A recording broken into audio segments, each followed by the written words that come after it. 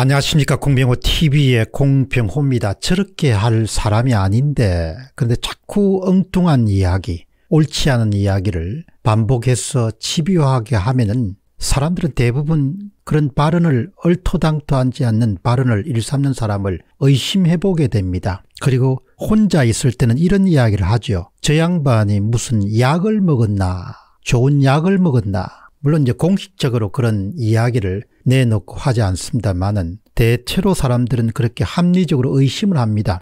분명히 옳지 않은 일을 대다수 사람들이 알 수 있는 일을 그냥 제쳐두고 관변 주장을 일삼는 것을 계속 옹호하거나 떠들고 다니면은 대부분 사람들은 그냥 자연스럽게 의심을 하게 되죠. 아, 저 양반이 무슨 약을 먹었는 모양이다. 뭐 약이라는 것은 언어지 않습니까? 건품 이런 부분을 수뢰했다든지 수수했다든지 이런 것을 의심을 해보게 되는 것이죠.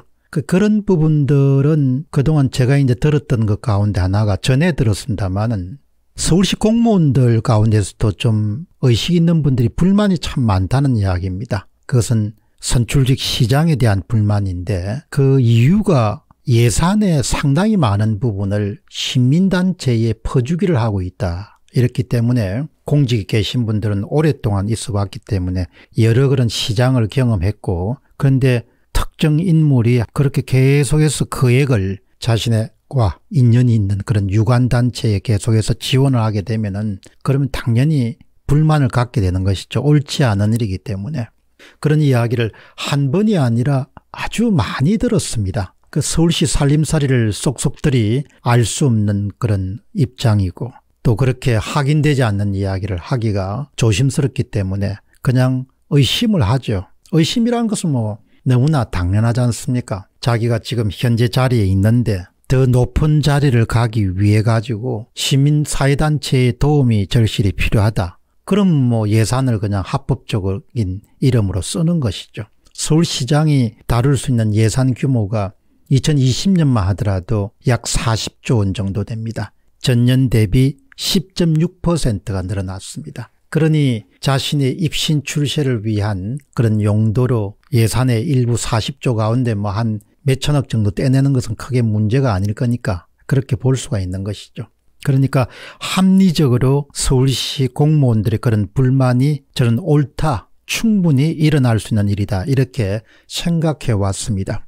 그러나 공식적으로 뭐 한 번도 이런 부분은 너무나 폭발력이 강한 내용이기 때문에 이야기한 적은 없습니다. 그런데 박성중 국민의힘 의원실이 분석한 자료가 이런 그동안의 주장을 입증할 수 있는 뒷받침할 수 있는 그런 내용을 담고 있습니다. 이것은 상당히 중요하기 때문에 앞으로 검찰 조사나 이런 것을 통해서 낱낱이 밝혀야 될 사안이라고 그렇게 봅니다. 2016년부터 2020년 5년간 서울시가 시민단체 공모사업에 총 7,111억 원을 몰아주었다. 엄청난 거액인 거죠. 그러니까 아마 그 돈으로 호의호식한 사람들도 많을 것이고 일거의 재산을 모은 사람들도 많을 것이다 그렇게 봅니다.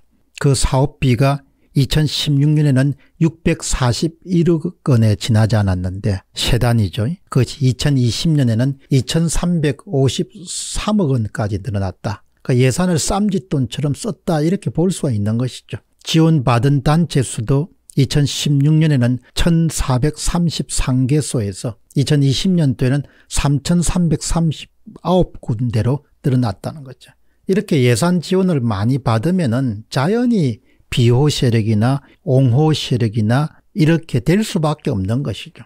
본래의 시민사회단체가 만들어진 설립 목표라는 것은 온데간데 없고 오로지 자기에게 먹잇감을 던져주는 사람들을 위한 그런 옹호단체가 될 수밖에 없는 것이죠. 이처럼 시민단체 공모사업 액수가 641억 원에서 2353억 원으로 늘어났다. 수직 상승한 것이죠. 거의. 지원단체가 1433군데에서 3339군데로 늘어났다. 이렇게 하면은 그동안 서울시 공무원들의 주장이라는 것이 입증될 수 있다라고 이렇게 볼 수가 있는 것이죠.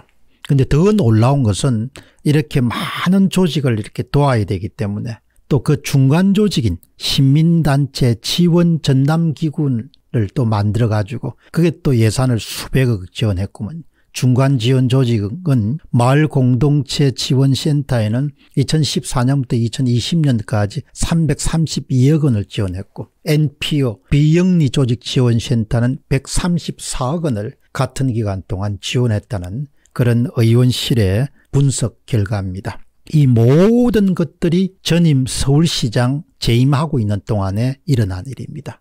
4월 13일자 조선일보는 5년간 시민단체에 7천억 원을 제공한 서울시장 흑막 모두 밝혀야 된다 이런 사설에서 또 구체적인 사례를 제공합니다. 전 시장의 선거 캠퍼 출신 인사의 모 인사가 2015년 세운 단체는 예의도 공원 스케이트장 운영권 잠수교 모래해변 조성 사업 등 수십억 원씩 들어가는 서울시 사업을 9개나 따냈다.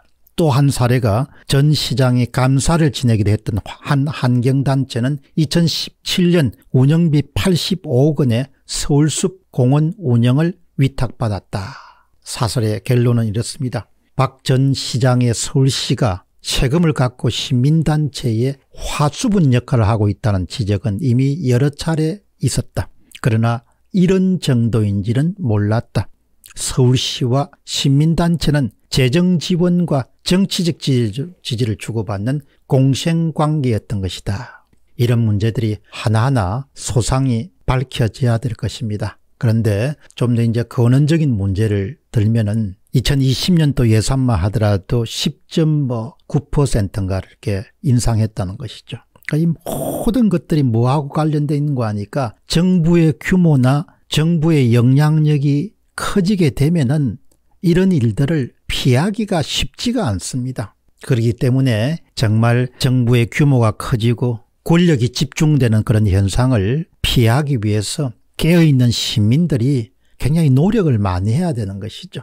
권력이 집중되고 이렇게 관 조직이 비대화되고 정치의 영향력이 커지게 되면은 이런 예산 낭비나 이런 부분들이 뭐 불가피한 광범위하게 그렇게 유행할 수밖에 없는 그런 현상으로 자리 잡기 때문에 정말 점점 나라가 이렇게 돈을 버는 사람보다도 벌어놓은 돈을 나누어 먹는 사람들이 이렇게 비약적으로 증가하게 되면 앞으로 나라가 어떻게 되겠냐 이야기죠. 특정 인물이나 특정 정당에 대한 그 호불호의 문제가 아니고 원칙과 관련된 문제라는 것이죠.